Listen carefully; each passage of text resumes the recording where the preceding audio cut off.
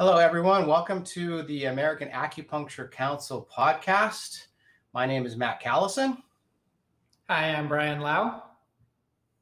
We're from AcuSport Education and the Sports Medicine Acupuncture Certification Program. Uh, we want to chat with you today about the Sanjiao channel. So, can we get into that first slide, please? All right, Yeah, so, we don't have very uh, much. So, go ahead, Brian. Yeah. So we are going to discuss uh, Sanjiao's Sinew channel today. Uh, a little bit of the topography, a little bit more of the anatomy to start off with, and then we'll um, have a chance to talk about a representative injury of the channel. So uh, that'll give a little preview of what's to come in the next 20 minutes or so.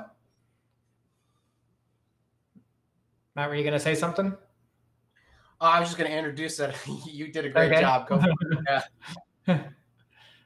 All right, so uh, this will actually also give a flavor of what we teach in the sports medicine acupuncture certification. E- each module, we have an anatomy, palpation, cadaver lab. Uh, so there'll be some elements of the anatomy that we're going to be teaching, and actually a, a class, if you're watching this live, that we're going to be starting tomorrow uh, for the upper extremities. So the San Sanjiao channel will be one of the many channels that we're looking at, obviously, for the upper extremities. Um, and uh, some opportunity to look at some uh, dissection that we've done that we'll be presenting in our class. Uh, so we'll remind about this, but if you are watching this around other people, we'll give you a heads up before the dissection stuff comes on and give a couple thoughts on that. But you just want to make sure that there's nobody uh, around you that might be, um, you know, it might be disturbing for some people if they're not uh, medical providers and they're not used to seeing cadaver images. So we'll give ample warning before those videos come on. All right, so let's go to the next slide and we'll start looking at some of the entry uh, anatomy for the channel sinew of the Sanjiao channel. So this is from uh, a translation of Vietnamese scholar Van Nghi uh, from, from the Ling Shu, chapter 13. And if you kind of glance through it, uh, you can see that it gives a, a description of the topography. It, it's kind of vague, you know, the uh, very open to interpretation and, and vague. Some of the anatomy descriptions in the Ling Shu from chapter 13 for the channel sinews. Channel sinews uh, have maybe been a little bit less um, explored than the primary channels and, and some of the other secondary channels like luo connecting, et cetera. So the channel sinews probably in the history of Chinese medicine haven't been explored as thoroughly. And we've been doing a lot of work within the uh, sports medicine acupuncture program to um, further define and be a little bit more specific on the anatomy of each channel uh, including which structures are involved with with channels, how they link with other channels in terms of um, pairings, you know, like internal, external related channels, how they communicate and work with those, how they work midday, midnight, et cetera. So just to be a little bit more um, specific with the anatomy and a little bit more specific with some of the functional anatomy in particular. So you can kind of glance through and see some some aspects of the original description, at least translated in English in this translation. So anything to add, Matt? No, this is good. Let's go into the next slide there. Yeah, so right, here we. I want to add Yeah. things. Yeah, here we have uh, our interpretation of the um, Sanjiao Sinew channel. Sometimes we refer to them as Sinew channels, channel sinews, Jingjin, musculotendinous channel, a lot of different translations. Jingjin would be the, um, the, the pinyin version from the Chinese. So here's our interpretation of that. The Sanjiao Sinew channel is a little bit um, harder to interpret as it gets higher up into the traps and starts uh, including some of the um, the the cervical fascia, and we'll go over that when we get to it. But if you just glance through the list, it's pretty channel-like. We have the fingers finger extensors on the back of the uh, kind of posterior surface of the forearm. Uh, deep to that uh, included is the supinator. Uh, then the medial head of the triceps. The triceps, there's three muscles, but there's two that are superficial.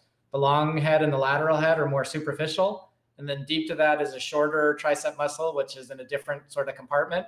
Um, still a tricep, but it's a deeper one, and that's the medial head, and that's part of the Sanjiao sinew channel. The more superficial is part of the small intestine sinew channel. Then, as that travels up and connects with the lateral intermuscular septum, that goes into the deltoids, into the superficial deep cervical fascia, superficial layer, upper trapezius, SCM, digastric, and up into the scalp. We'll go through that in a little bit more detail.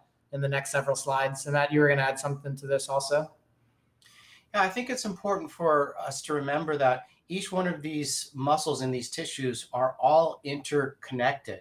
Mm-hmm. So this is the reason why when we can treat something, put an acupuncture in distal, how it can signal along that myofascial chain and soften or change pain at a proximal area. For example, if somebody has pain in the SCM, how we can treat some of these different tissues uh, distal from the SCM and start working towards softening that SCM. And is that uh, the bottom line here is that each one of these tissues are fascially connected and they can yeah. be able to carry signals.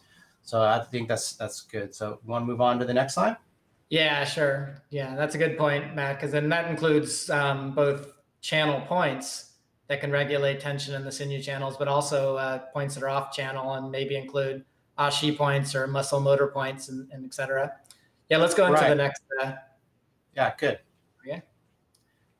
Uh, so if we kind of look at the forearm, we have a more superficial layer of the Sanjiao sinew channel. And like I kind of already alluded to, that is going to start at the, uh, the hand with the uh, tendons of the extensor digitorum communis muscle. So that'll travel then up the posterior part of the forearm, and it's going to attach to the lateral epicondyle. Uh, that fascial linkage that Matt was referring to, then from the lateral epicondyle goes right into the uh, lateral intermuscular septum. A lot of people might not be familiar with the lateral intermuscular septum. It's highlighted in green in this image um, that I we put the highlights in, but this uh, image itself is from an anatomy uh, atlas from uh, German author Tillman. So you can see that little thin green line just be just between the biceps and the triceps. So this lateral intermuscular septum is the kind of fascial septum or wall between the biceps and the triceps, and it can transmit force. And in this case, for the Sanjiao sinew channel, it'll transmit force up into the deltoids, particularly into the middle head of the deltoids. So that's uh, more of an overview of that superficial aspect.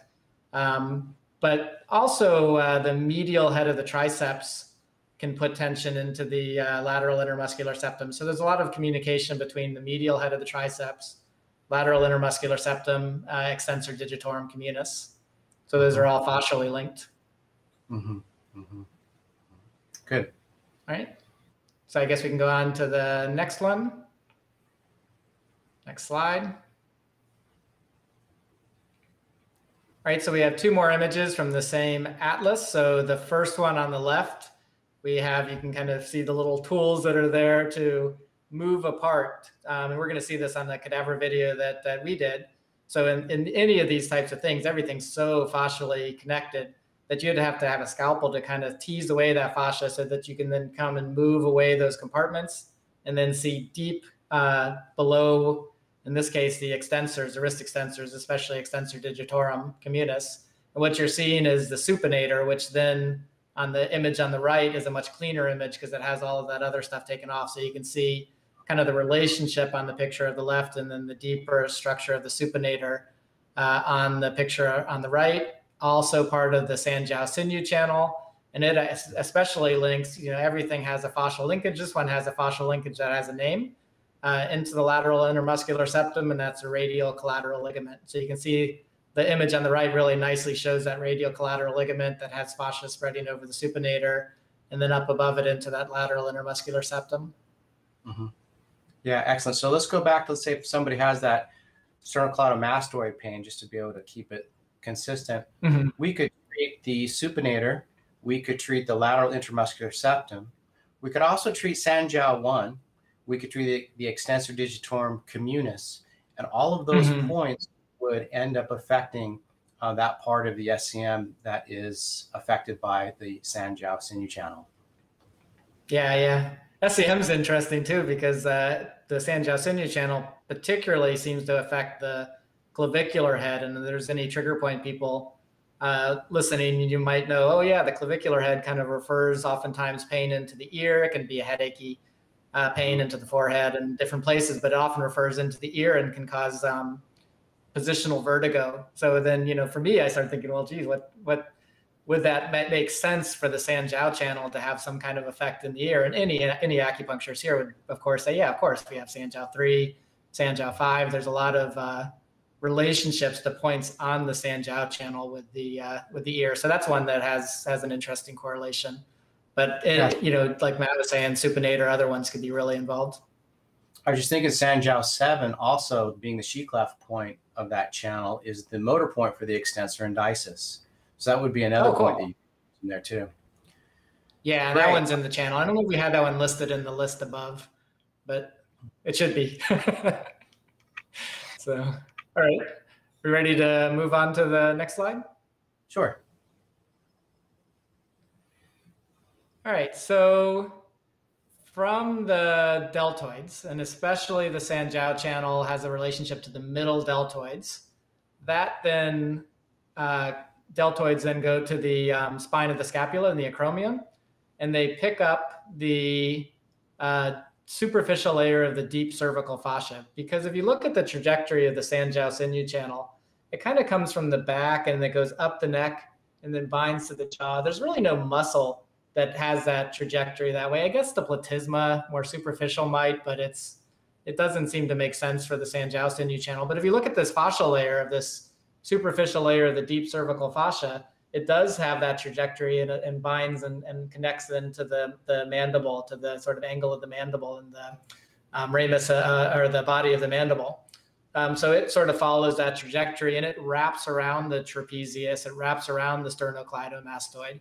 So it's very intimately involved with both the upper trapezius and the uh, sternocleidomastoid. The digastric is in this region also. Uh, so if you think about the channel as being more of that cervical fascia, um, it might cross and, and include muscles that aren't going in the in the trajectory in the pathway of the channel, but it still has tensional relationships with the SCM. Seems like particularly the clavicular head of the SCM and then the upper trapezius. And upper trapezius is a big muscle. Uh, I would say that particularly relevant are those fibers of the uh, uh upper trapezius that go from the acromion to C7, which are what you would be needling if you needled the motor point uh, in Matt's book, book, The Motor Point Index. It's referred to as the part two fibers that many people will needle from Sanjiao 15, kind of angling upwards into gallbladder uh, 20, 21, excuse me. Yeah, which is nice. That needle technique is safe. It's you, are not going to create an pneumothorax mm-hmm. with that, and linking the Shaoyang channels, which is nice. Mm-hmm. Something that we te- that teach in the SMAC program is acupuncture as an assessment, and this is going back. Let's go back to the SCM clavicular pain, so to speak. Maybe somebody's having mm-hmm.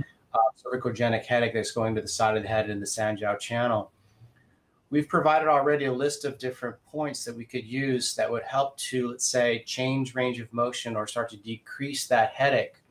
So acupuncture is an assessment. If somebody has that type of headache and maybe they have limited range of motion, they have a forward head posture. If we put the acupuncture needle into the extensor digitorum communis motor entry point and then had the person move to see if that actually changed the chi within that Sanjiao myofascial mm-hmm. channel or we could use, of course, Sanjiao 1, Sanjiao 7, the lateral intramuscular septum. So we're providing a number of different tissues that you can use for either a proximal injury or a distal injury. Using acupuncture as assessment is really nice because it's just giving you some ideas of what points actually make the greatest effect on that orthopedic evaluation, on that range of motion, on that pain. Then you would take that needle out and then when you're actually going to be needling the patient, you'll include that needle back in as part of the point prescription. Okay. I hope that was clear. Yeah, you already you already saw immediately that it had an effect on the dysfunction. Mm, yes. With the assessment yeah. part. Mm-hmm. Yeah. All right. So do we now go into the next, next one? Slide is a little conversation about the cervical fascia. yeah. So this is a, a, image that's put together from this uh, professional software Zygote Body. Uh, they don't have that little lines that are drawn. I, I painstakingly put those in through uh, through a Illustrator like program, but um, because I wanted to show the fascia because these programs, these 3D programs, are very clunky. You know, it has a muscle like the deltoids and traps, and they're like putting Legos on, um, which is not how the body is. When you see the the cadaver dissection, obviously, you'll see this very clearly. So I, I put those uh, white lines on to sort of show the, the fascia coming up from the middle deltoids, sweeping through the uh, upper trapezius, going across the SCM. I say across, but actually both the um, SCM and the traps are embedded, kind of surrounded in that uh, superficial layer of the deep cervical fascia. So it goes on both sides of the SCM and then goes to the mandible and links up with some of the fascia in the jaw and up into the temporalis uh, fascia, which would include the temporalis muscle. In that case, you can also see those little uh, ear muscles that move uh, and stabilize that region of the uh, of the ear. Um, but the temporal temporalis fascia and the, uh, the tempor- temporalis muscle is interesting because that's another point. And I think Matt, you have this in the motor point index as as having you can treat the motor point for headaches and various reasons, but this one has a um, empirical use of, of uh, reducing tension in the upper trapezius. Ipsilateral, so another point. Yeah. Mm-hmm and you can see through the fascia how that would be be very much linked and, and help communicate that that uh, tensional relationships between the 2 mm-hmm. Yeah, great. so you know the take home there's a lot of things that are surrounded by this fascia but really clinically the upper trapezius especially those fibers that are kind of horizontal connecting to c7 those part 2 fibers and the clavicular head of the scm that you have you can access from the motor point kind of in the region of stomach 9 and angling through the muscle, but you can also get really good access to it through Sanjiao 16 and angling from Sanjiao 16 cross belly into the posterior portion of the SCM and, and uh, um, connecting into that clavicular head. We have a video on um, the YouTube channel, Sports Medicine Acupuncture YouTube channel, that shows both of those, um, both uh, both uh, needle directions for the motor point and through the Sanjiao 16. All right. So the next slide is going to be. Sorry, Brian. Go ahead. Yeah, go ahead. No, I said I think that's the uh, it for the intro. Yeah, and I think we're getting ready for the cadaver. Why don't you set this up, Matt? Sure. Yeah. So let's just make sure that again, some people, if they do see this um, passing by your computer or such, are really not going to enjoy it very much. It can actually really affect them deeply. So let's be really careful of where we're observing the following video, which is going to be of a cadaver dissection.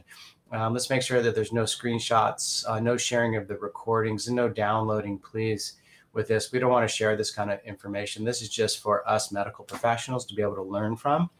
So then can we now see the video, please? And then I believe there's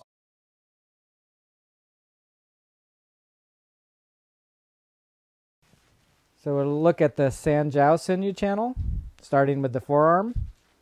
We have the extensor digitorum communis exposed, extensor digitorum communis, in a different fascial compartment than the extensor indicis. So a different fascial compartment than the extensor indicis. There we go. And a different fascial compartment than the extensor digiti minimi. So indices, digiti minimi. So we'll put those back into place so we can see them in relationship. Extensor digitorum communis comes up the arm, attaches to the lateral epicondyle. It also communicates into the lateral intermuscular septum, but has a communication into the medi- medial head of the triceps, which is a, a, little part of it on the lateral aspect there. Medial aspect of the triceps also puts tension into that lateral intermuscular septum. So Sanjiao has more to do with the medial head of the triceps. All the way up, communicating with the deltoids. We feel that that communicates more through the middle fibers of the deltoids and then into that portion of the upper trapezius that attaches to C7. So those part two fibers of the upper trapezius. At another point, we'll be able to do a little bit more dissection and start to look underneath these structures to see the uh, supinator, which we're starting to see a little bit of the supinator right there, part of the Sanjiao channel. All right, great. So let's get to the next slide. All right, so some of the common injuries associated with this particular myofascial jingjin will be distal, the EDC tenosynovitis. So the on the wrist itself, the tendon that is going to be in the middle of Sanjiao 4 and extra point Zhongquan.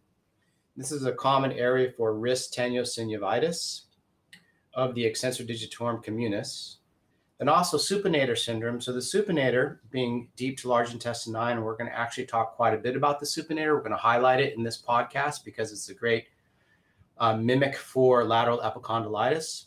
Um, this particular podcast also um, will parallel the blog that we have on the Sports Medicine Acupuncture website, sportsmedicineacupuncture.com, where we discuss supinator syndrome. And we've got um, a couple of videos also, including a myofascial release technique that's very effective for helping to release the supinator. And we'll talk about that in a little bit more.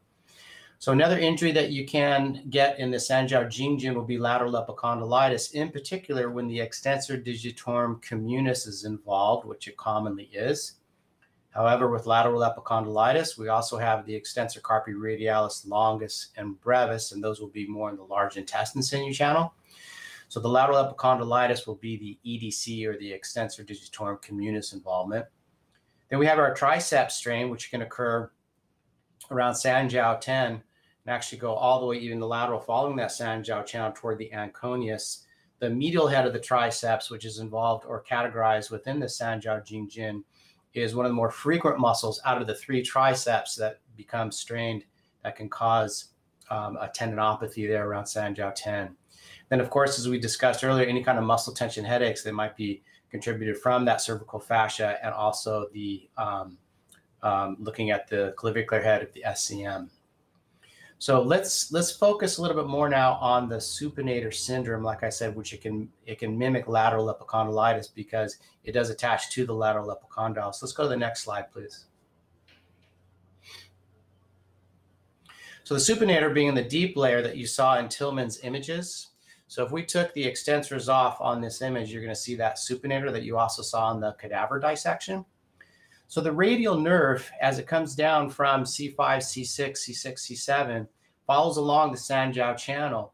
Around large intestine 11 region, it actually bifurcates. So the superficial radial nerve travels along the large intestine channel, and then the other bifurcation is the deep branch of the radial nerve. It's also called the posterior interosseous nerve. So deep radial nerve and posterior interosseous nerve is synonymous. That posterior interosseous nerve dives down through the supinator, through this fibrous canal called the arcade of Frohse.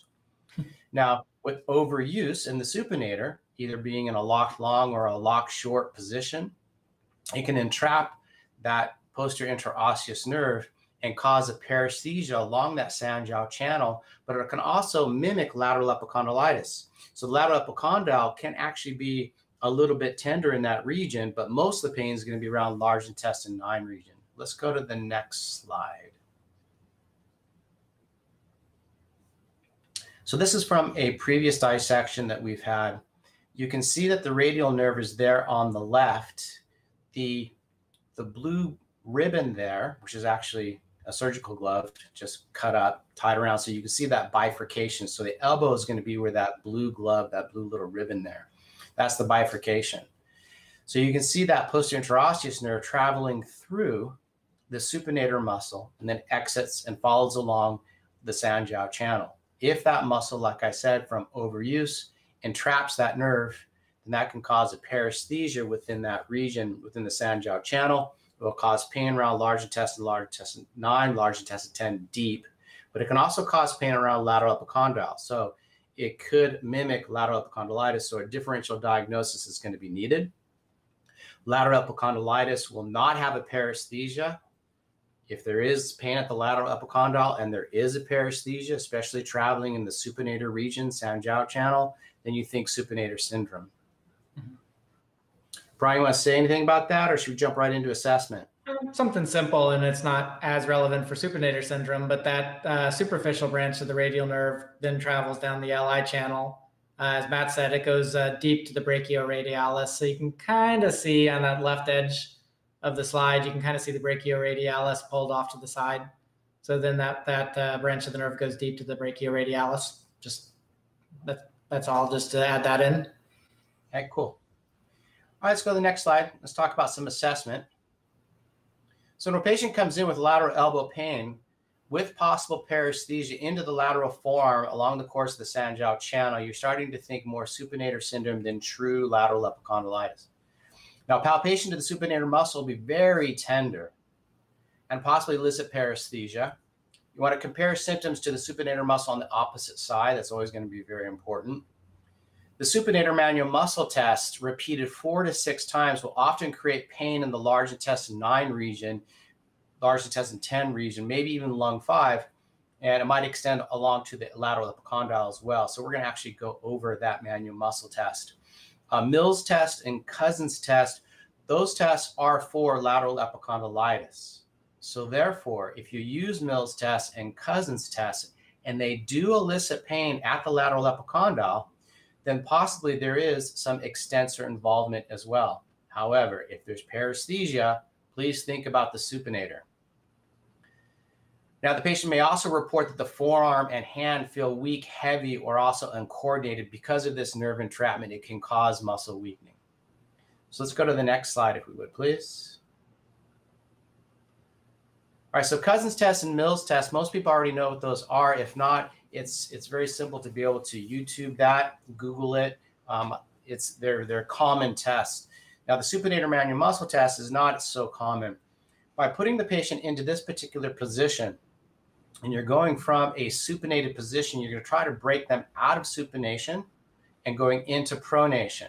Now, if you do this four to six times, if the person does have supinator syndrome, many times it'll become sore in the large intestine 9, large intestine 10 region, and it may also start to elicit that paresthesia. So you can use this manual muscle test as confirmation.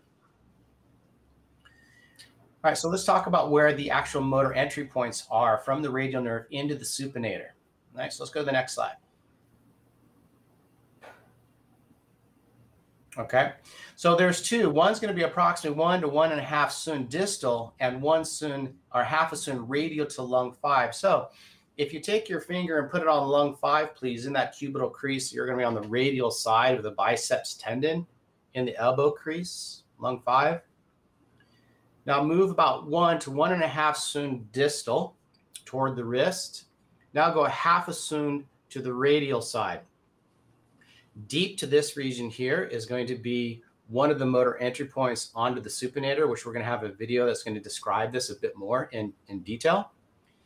Now, if you can go to deep to large intestine 9. So large intestine 9 is going to be three cun down from large intestine 11. All right, so we're going to separate the brachioradialis and the extensor digitorum uh, uh, extensor digitorum radialis longus, separate those tissues to large intestine 9, press against the radial bone, which is usually a great sensation. Mm-hmm. And that will cause quite a bit of sensation, quite, quite a bit of pain in that area. That's going to be another motor entry point for the supinator. So let's take a look at the next video, which is going to describe the location and then also the needle technique. And then after that, we can take any questions that you guys may have or we can have some uh, closing comments.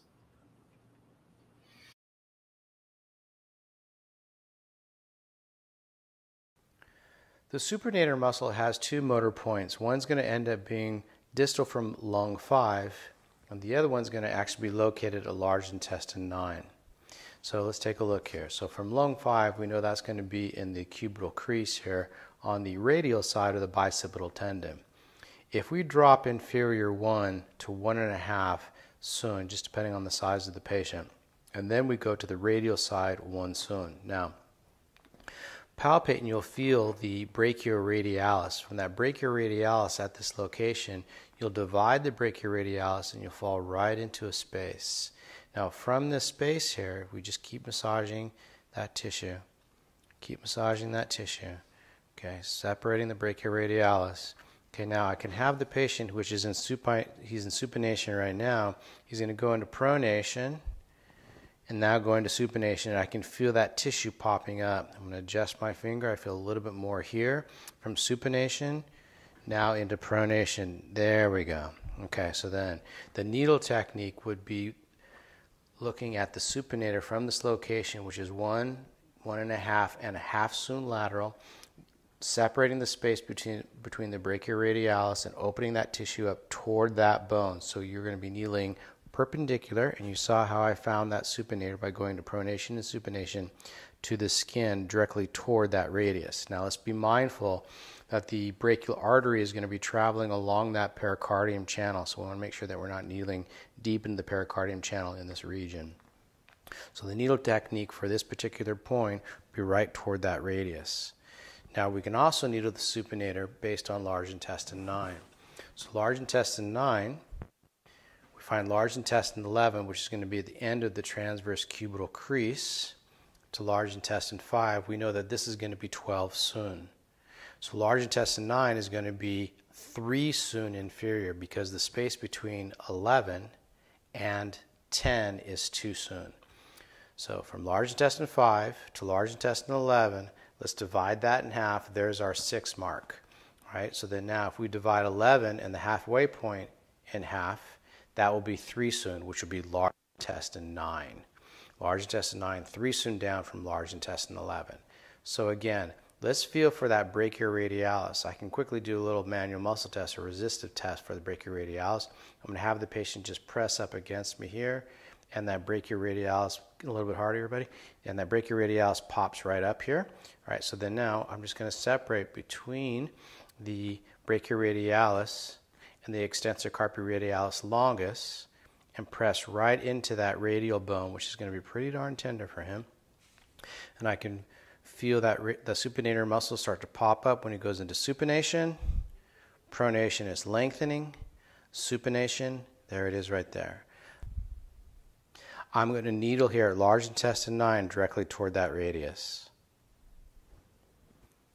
So we've located large intestine 11, we've located large, large intestine 9, which is 3 down from 11. We've identified where the brachioradialis is. Now we're going to just slide our finger right into that crevice between the brachioradialis and the extensor carpi radialis longus. Separate that tissue there. Separate the tissue, and I can feel that radius.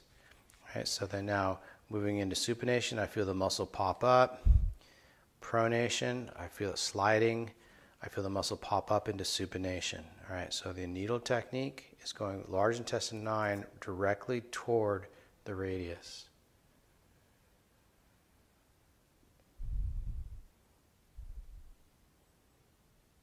And then we propagate. This muscle is innervated by the posterior interosseous nerve or the deep radial nerve, which is a branch.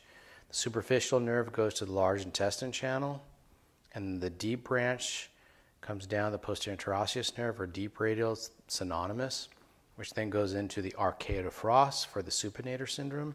And that's a lecture that we have in this particular program, in this particular module. This is going to be supinator at large intestine 9. Let's take a look at how we're going to needle the supinator from the uh, lung channel.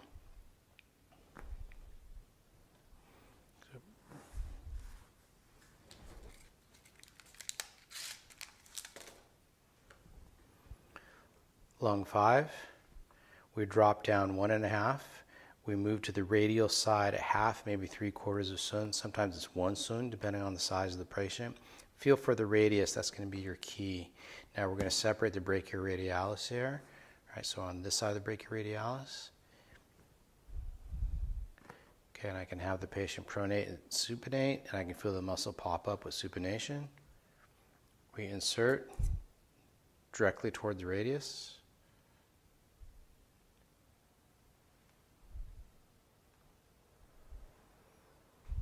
And propagate.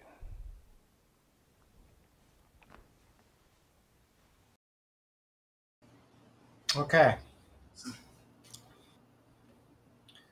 So the two motor points for the supinator, that's how we would treat that. But of course, that's just treating the supinator. We'd have to include more points to be able to soften that, that Sanjiao sinew channel and also look at the person's posture as well. Um, those were just two points to be able to needle the supinator. Again, we can go into extensor digitorum communis, Sanjiao 1, Sanjiao 4, lateral intermuscular septum, the medial head, going into the clavicular head of the SCM to help to connect the entire Sanjiao channel with that. And then, of course, giving exercises that will help with the pronator teres and, op- off in the supinator. Many times the pronator teres will be in a locked short position and need to be stretched, and the supinator will be strengthened. But of yeah. course, there's never an always with all of this, so it has to be assessed properly with that. Yeah, and the pronator teres is part of the pericardium sinew channel, so makes sense to treat that for both reasons. Yeah, good. So internally and externally related, of course. Mm-hmm. Awesome. Well, that's it for our Sanjiao Yeah. channel. That was it in a nutshell. Quick question, uh, just because I think other people might have it too. Um, and I think you said it. You're treating both of those points, or is there clinically a reason why you treat one or the other of them, um, or is it really both for supinator syndrome? I like to treat both of them because it is such a, a, a long muscle with a number of Mhm. different attachments to it. So usually I'll try to be able to get both because if I miss one, then I'll probably get the other. Yeah, got it. Yeah, good question. Thanks for saying that. Mhm. All right. Well, Brian, was there anything else that you want to close this out with? No, no, as usual. Of course, thanks uh, to American Acupuncture Council. Yes. Great having the opportunity to do these webinars. hmm Yeah, thank you everybody for attending. We, we really, really appreciate this. And also, oh, you just see that coming up. Lauren Brown is going to end up being here next week. If you have not um, heard Lauren uh, speak before, he's very energetic. He's very knowledgeable. He's a great person as well. So that's going to be a good show for next week. Um, Brian, thank you very much. It's always a fun time with you. And thanks, everybody. Really appreciate it. Have a great one now. Great. All right, Bye-bye. bye-bye.